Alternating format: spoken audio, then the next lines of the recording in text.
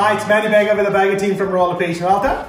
Hello, Such Kahlon with the Bagga team Royal LePage. Hey, welcome back to our weekly episode to highlight Royal Luxury Home and the Bagga team is dedicated to deliver every week a new content. That's that right, absolutely. So this week we are talking about Spice Kitchens. Spice Kitchen and Spice Kitchen and the Spice Kitchen has a way different name. People say Spice Kitchen, people say Chef Kitchen, and there's another third word. It's called Walk Kitchen. People call it walk Kitchen. Yeah. Wow, and it's called Dirty Kitchen as well.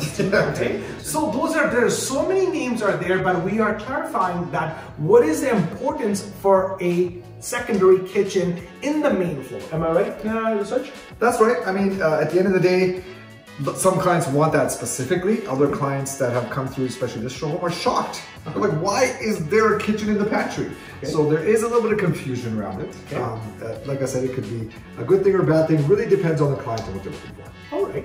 But but again, I, I, wanted to clarify to a lot of people, it doesn't matter, even the high-end properties I saw that, there's a secondary kitchens That's are right. becoming more popular and popular every time we can go see it. Sure. But I understand that this this homes are you're in, in range of somewhere 650 to 850,000 dollars, but yeah. you still have that option. Yes. So would you mind if you would clarify to all the audience who is watching there that, hey, what is the benefit for a spice kitchen having it? or what is not having it. So, so how are you going to clarify that question? It, well, in my personal opinion, okay. um, I, I love a spice kitchen. Okay. But in my personal opinion, it's because for big gatherings, for okay. socializing, a house that's built like this for entertaining with a big island, the spice kitchen allows you to maintain cleanliness in the main kitchen. That's mainly why people like having a spice kitchen, especially if you socialize a lot or you want to have people over. One of the biggest things that people use it for is to keep extra, the cooking, and the mess over there. So cleanliness is really the biggest thing. Okay, so I'm going to simplify. The viewers are who watching right now. What Such is trying to say that, hey, having a spice kitchen or not having a spice kitchen, there is a pros and there's a con. So let's discuss all the pros first. Is that correct? Yeah. So let's move to let's spice kitchen. Take a look at the spice kitchen. Absolutely. Itself. So we, we can we can showcase that, uh, that part of this um, this house. So this house does have a full chef kitchen, spice kitchen, or extra kitchen, or dirty kitchen, or whatever that you can name it. So, so such highlight to us the three pros and three cons. So let's, if I have this spice kitchen, what will be the three pros? So let's talk about that. So the three pros, the first one I just mentioned to you earlier, the biggest one for me is cleanliness. Okay. Because in here now, especially if there's a social function, cooking can mostly be done here. Okay. And more importantly, the dishes. Uh-huh. When we have social functions, dishes are gonna pile up. And if there's no spice kitchen, they're gonna pile up on the main island. And if you've ever had a social gathering, you know people end up all surrounding the island. Absolutely. That becomes the hub of the party. Correct. So a second kitchen allows any mess going on during any social functions to be put into a separate room called the spice kitchen. That's number one for me, which is cleanliness. So cleanliness. That's, that's right. That's a that's a number one good thing to have this spice kitchen. Okay. That's right. Let's let's do that. Number two. Secondly, this is more of a day to day thing. Okay. But when people are cooking, I mean, in our East Indian community, I know some of the Oriental uh, culture as well. That's what's called a spice kitchen or wok kitchen. But some of the cooking can be very smelly, right? Okay. And if the main kitchen is being used for that, that smell is going to go all the way through all this open space as well as into the second floor. Okay. The spice kitchen allows you to block it off. So if you notice, we have a door here and a door here. Yeah. Very tight space. Hood fan is here. So any cooking that results in any sort of smell is going to be sucked out and it's going to be kept away from the main house. Fantastic. So point number two is really the smell. So, so it means so it deodorizes the whole home. Absolutely. So it means your home stays fresh. more clean, yes. fresh, and then all your cookings are still here. You you block them off with this Absolutely. door and this door, and cook whatever you want to do. Leave everything in here. Shut down if somebody guests come. You entertain them outside, and everything's inside. Everything's inside. Wow. That's right.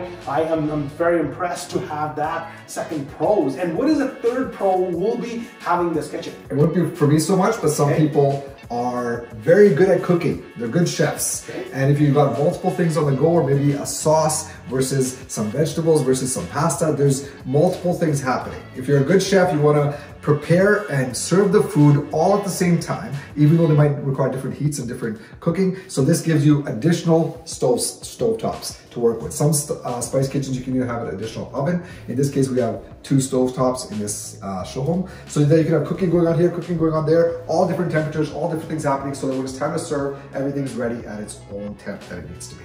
Wow. So the preparation is very handy if cooking is something you really enjoy. Fantastic. So what does that mean for all the viewers at this moment that you have a pros that you have two stoves, you might have two ovens, you might have two fridges, you might have two dishwasher, and you have might two sinks. So it means you have a double the capacity to entertain and look after all the guests, all Yes. your all, all your people that visited to come to your home. Is that right? Absolutely, yeah. All right, so that is a fantastic. So you give me three pros. So now I want to know three cons. So if somebody don't have it, or you have it, but then then what will be the unbenefit of this thing? Well, the first obvious one, of course, is expense. it's going to cost more to have two kitchens Okay. than if you just have one kitchen. Okay. Right?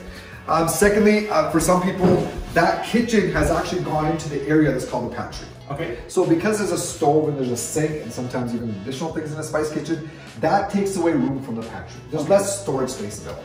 That's that's very obvious, right? So, so, so number one, you are telling me that that a lot of people complain that yes, I have a benefit of Spice Kitchen or Chef Kitchen. Now I have a less storage area or Yes. less pantry space where I can put my my all the groceries or my cutlery or whatever that you can. That's right. So okay, so that's number one. What is will be the the second con will be? Um, well, number one is expense. We'll come back to expense at the end. Okay. So number one, the storage space is far less. The second, second major thing that I've actually come across is people like spice kitchens. They like buying them. Especially, I've, I've met a lot of young couples who buy homes with spice kitchens. And after talking to them one or two or three years down the line, they realize they only use one. So they usually all they're not just the dirty cooking, but every cooking, all the cooking is being done in the spice kitchen. And this main kitchen is brand new. They've never used any of it. So that's a good thing, it's clean. But they look back and they say, Such, I don't know how practical it is because I'm only using one kitchen all the time. Do I really need to? So that's one thing is people find that in a practical sense, they're not making use of two kitchens. Obviously, I understand that because if you're husband, wife, and two kids, Yeah. you're not going to use all the time two kitchens, and you're not going to use two stoves on the same time. You're not using two dishes, Yeah. dishwasher. I get that because because you're you're you're having two features, so you're getting used to using one. Right. So other ones just come back as an overhead. Yeah, exactly. Got it. So that's that's number two. So all the audience are watching. So we Switch already giving you three pros, and we already got two cons. So what is the third one? Third one, I mentioned it briefly, but it's expense, right? At the end of the day, it's going to cost more. Um, you're to have obviously the additional stove usually is standard if it's a spice kitchen and a sink, but you could add in a fridge. Okay. People want a fridge in there sometimes. Okay. You could add in a dishwasher. Absolutely. Uh, you could add in an oven. So all the not just the construction of it is going to cost a little bit more, obviously, but the appliances themselves are going to become that additional expense. I agree because think think this way. So if you have a cheapest appliances Yeah. package for six seven thousand dollars outside, so you're gonna spend another six to seven thousand dollars Yeah. more for inside. So that's a double expense. Right. So it, it depends. Somebody if you're utilizing. Good, Yes. but if you're not utilizing, just like you told me earlier in, in your uh, second house, then it means it's like a redundant. You're just wasting a bunch. That's right. Yeah. Okay, so the, all the audience who are watching right now regarding that spice kitchen, chef kitchen, or walk-in kitchen, or dirty kitchen, whatever that means, maybe hopefully this will help you to determine what is the three pros and what is the three cons. Yeah. So at the very end, I, I, you give me a very, very good analogy about that spice kitchen. You explained to me very well. I wanted to now, as a layman, think if somebody comes to you and say, hey, Such, I wanted to build a spice kitchen. Yeah. What, you, what is what is the budget they are looking at it to to have it? What is the minimum to maximum budget they can have it to build? It will it will depend, of course. But if you want a range that's mostly accurate, Correct. it'd be in the range of roughly minimum fifteen thousand. Okay. You gotta put some appliance in there at Absolutely. least. There's slightly higher construction costs. The builder's gonna put some work into it. Mm-hmm. Um, you gotta make sure that it's gonna fit nicely. You can't just shove it in anywhere. Correct. So the space requirement, all that, fifteen thousand upwards to about thirty thousand. If you want a full blown spice kitchen with all the appliances, all the features, like a literally a second kitchen, it, it can go up to thirty thousand. Absolutely. So hopefully you guys can getting a benefit out of this episode we recorded today, especially for the request, because every week we pick a top question of the week that we answer this question because Such is so knowledgeable and he has a, so much knowledge in this industry which he can answer all your questions. So if it does, please comment below before you can end up this one. And hopefully if this video you really think that valuable for somebody in your family, please share and Yes. subscribe, right? Yeah. Because we are coming next week again. We are coming next week. We're gonna same thing we do every week. We're gonna take the questions we're getting at the show, what people are saying as they come through. and We're gonna put it into a video.